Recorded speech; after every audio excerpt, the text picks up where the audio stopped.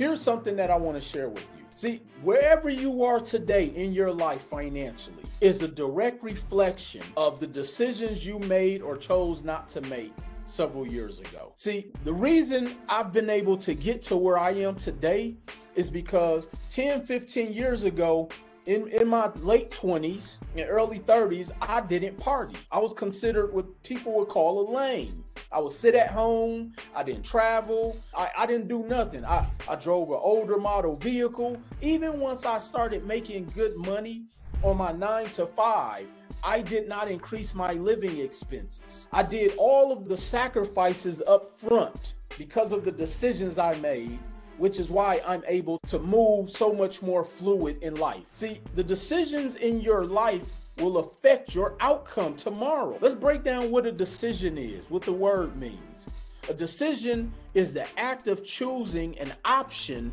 amongst several possibilities. See, I know people who had a decision, who could have made the decision to start working in the REI90 two years ago and they did it, and their financial situation got worse.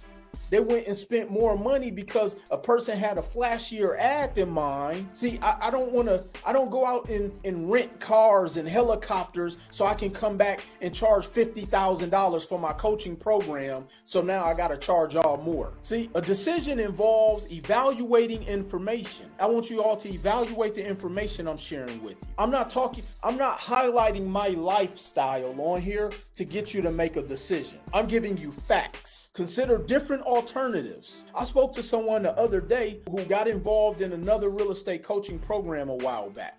And what they did was is they, you know, preached to them this prosperity of having this abundant life of wealth, okay?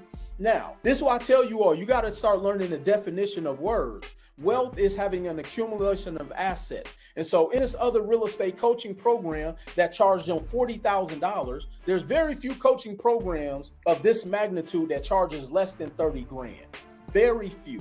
It was $40,000 and what they were doing was is they were convincing her to go out there and do all of this real estate flipping. And here's what I've been saying for the past 5 years. Flipping real estate does not give you that freedom you said that you want or the reason you got into real estate was for freedom. Flipping does not do that for you because it doesn't amass assets. You don't hold on to the asset as a flipper. You don't hold on to the asset as a wholesaler. Once that transaction is done with this house, so once I fix this house up and then sell it to Daniel, this house is no longer in my possession, which means I no longer make money from this property. So all I try to do is give you all the information so that you can evaluate it. So you can evaluate it. Decisions can be simple or complex and are made in various aspects of life, such as personal, professional, and financial. When making decisions, Factors such as objectives, values, consequences, risks, benefits can all be considered. I even teach you how to mitigate your risk. Nobody else is talking about risk factor. Nobody else is talking about the velocity of money, meaning how fast you put it out, how fast you can get it back. These are concepts I've been teaching for about six years. See, I broke the word decision down, which is an acronym. D, define the problem. Most people's problem is not money. We think it is. It's not. Most people's problem is a strategy. Even if you have bad credit, it's a strategy problem. Even if you don't have a lot of money, it's still a strategy problem. Why? Because you can go make money doing anything. Is that most people don't want to work. One of my students, Diamond Washington, said she drove Uber and donated blood. I know a lot of people are not willing to make that sacrifice. They don't want to put no miles on their car. People say, I don't want to run them miles up on my car. It's a car. Go make some more money and go get another car. So D, define the problem. E, explore all possibilities. See, I show you all of the possibilities of how to win in this game. I also show you the possibilities of other games that are out there where people are constantly losing. See, here's the thing I learned about real estate flipping. Everybody is going out there trying to flip $300,000 houses. Well, just like the other lady who I spoke to the other day, when the deal didn't go right because the contractor ran off or you run out of money, it's hard to sell an uncompleted flip for more than what you paid for it to get your money back. But if I paid $75,000 for this house and my circumstances change financially, I can still sell this house for 75,000. Again, C, compare alternatives. When it comes to real estate, you got wholesaling, you got real estate flipping, I've never met a person who who wholesales real estate who's saying, "Man, every first of the month I get a check."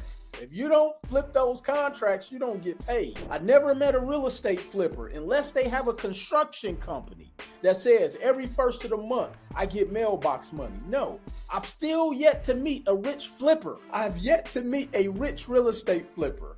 I've yet to meet a rich wholesaler. Now, they may be rich because of the program they sell, or they may be hustling every single month, but you can't take a month off as a real estate flipper. You can't take a month off as a wholesaler. By buying and holding real estate, I could chill every single month because I know every single month five figures is being deposited into the bank account of my various companies. And I can borrow against the asset. I can go and pull money from this to go and invest in other things, to buy a car, buy a watch, or whatever I choose to do. Comparing alternative. What's your alternative to being able to make consistent money every month. Identify key factors. I'm going to point that out to you all tonight. Select the optimal solution. Okay. People saying, well, credit is a is a barrier. We have a solution for that. People are saying credit is a, uh, not having capital is a barrier. We have a solution for that. Now it may take some time because you may have to restabilize. Some of you guys have rotten fi- financial foundation. We have to restabilize your foundation.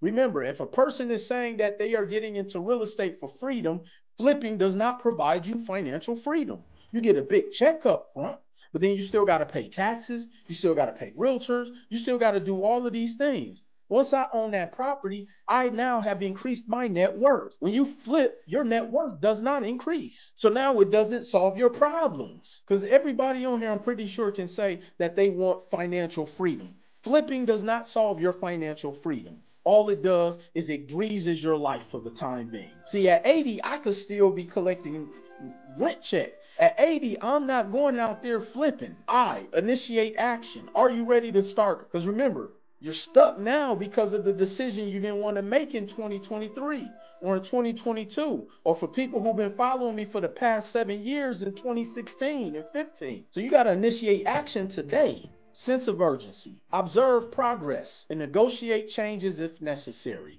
Do you got to renegotiate your terms of your life? Have you been thinking too small?